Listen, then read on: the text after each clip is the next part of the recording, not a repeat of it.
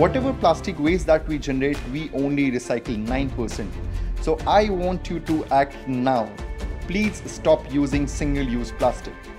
Hi, I'm Aya. Please act now to reduce your energy consumption and vote for good climate policy. Please act now. Stop using single-use plastic and please reduce the wastage of water.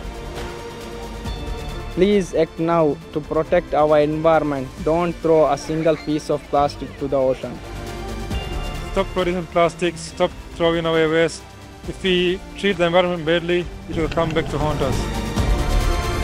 Act now to stop overfishing so that we can live on a healthier planet that can support not just us humans, but the entire ecosystem.